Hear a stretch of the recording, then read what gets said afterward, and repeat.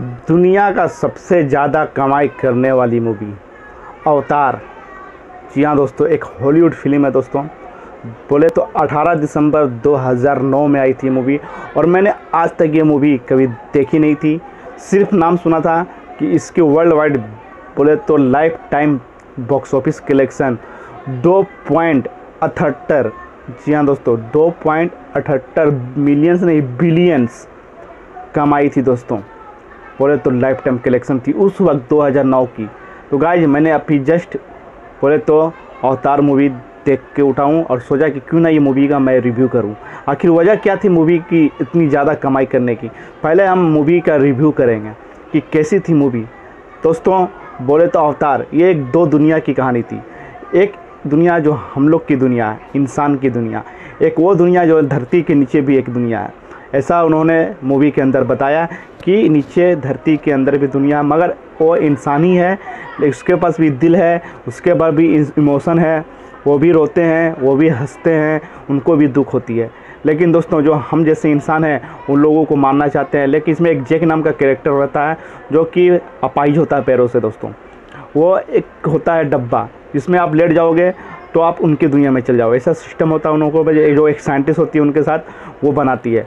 तो जैक नाम का जो कि वहाँ पे चला जाता है और वहाँ का जो सीन दिखाएगा ना दोस्तों, बोले तो मैं सोच रहा था, अभी देखे देखे ना मेरे मेरे को एक ही चीज़ माइंड मारी थी कि शायद ये मूवी मैंने 2009 में क्यों ना देखी थी थिएटर में।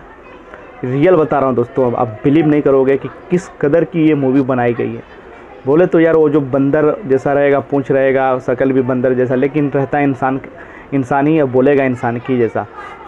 पर भी स्टोरी बनाया। मतलब कि सीन देख के ना अब जो लोकेशन है ना लोकेशन खूबसूरती दिल फिदा हो जाएगा। जैसा लगे आप, आप इमेजिन कर करो आप आप इमेजिन करने लगोगे कि साला ये जगह अपन लोग भी घूमते सुपर पे यारो एक से जानवर बताया एक से पक्षी बताया। सुपर दो घंटा इकतालीस मिनट की मूवी पहली बार मैं बोले तो हॉलीवुड की फ़िल्म ना दोस्तों पूरी वॉच की है। रियल बता रहा हूँ। मैं आज तक हॉलीवुड की फ़िल्में जल्दी देखता नहीं हूँ। अगर देखता भी हूँ तो आधी मूवी देख के सो जाता हूँ। लेकिन ये ऐसी फ़िल्म थी दोस्तों, जो मैंने पूरी मूवी देखी। इसकी क्लाइमैक्स लाजवाब जो लास्ट का एक्शन दिखाया ना पंची पे उड़ उड़ के जो फाइट होती है, जो खाली गोली फाइट नहीं होती, खाली गोली बार बोले तो तीर चलाते हैं।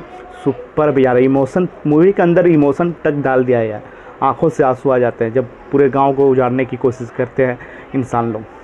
तो गाइस सुपर है। आज पता चला कि ये मूवी दुनिया की सबसे ज़्यादा कमाने वाली क्यों बनी थी?